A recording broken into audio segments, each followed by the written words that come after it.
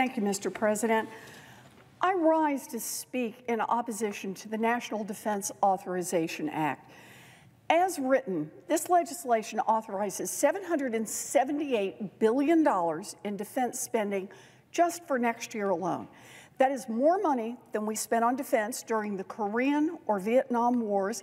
It is even more money than we spent at the height of the extraordinary Reagan defense buildup in the 1980s. Now, Congress is set to pass this bill with virtually no debate and with virtually no discussion about how much money we're spending. Congress keeps the spigot of cash wide open so long as it's for defense. And please note that not one single dollar of this huge defense budget will be offset either with new taxes or with new spending cuts someplace else. Meanwhile, do you know how much money the president's Build Back Better plan will cost on average each year if Congress passes it? 175 billion. That is about one fifth the size of this defense bill. And unlike this defense bill, every single dollar of the president's plan will be offset with new revenue or savings. But here's the thing when we want to invest $175 billion a year on child care and paid family leave and expanding access to health care and fighting the climate crisis, and when we're going to offset every single dollar for those new expenses, everybody suddenly becomes so very concerned about spending. When we want to make investments that directly benefit people across this country, we're told that costs too much, or that's socialism.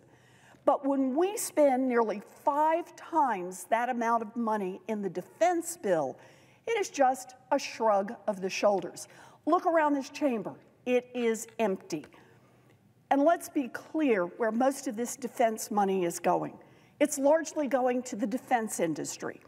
The Pentagon will take this money and give approximately $400 billion to contractors.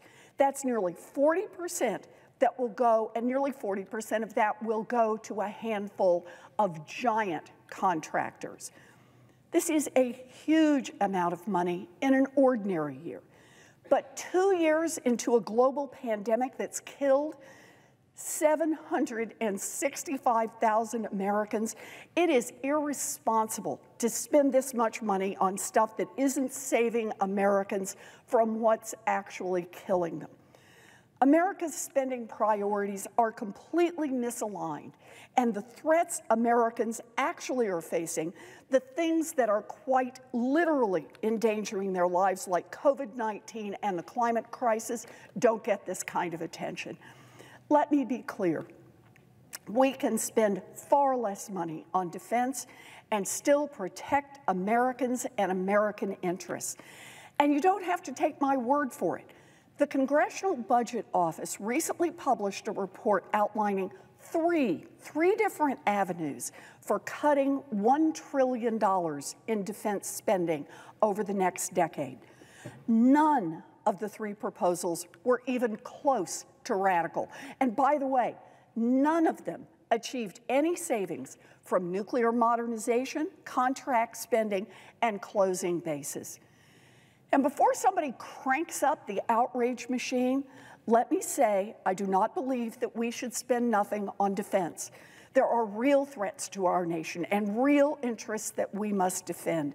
There are some situations that may require military solutions, but this defense bill goes far beyond that threshold. This bill continues to feed into the wrong headed idea that America's strength can only be measured by our military domination. This bill is another example of Congress granting the Pentagon virtually unlimited resources while, at the exact same moment, pinching pennies on things that will make the American economy work for our children and for our seniors, for workers and students and retirees, for everyone who isn't part of a tiny little slice at the top. These misplaced priorities chip away at the strength of our nation, and ironically, they undermine the foundation upon which our military is built.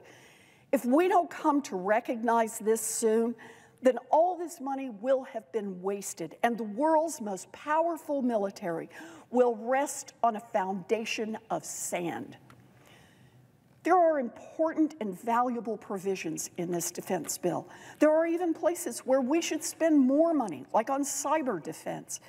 But it is long past time for us to rationalize the Pentagon's budget and align it with the threats we actually face. And this defense bill, like so many before it, fails miserably to do that. For that reason, I will vote against it. Thank you, Mr. President. I yield the floor.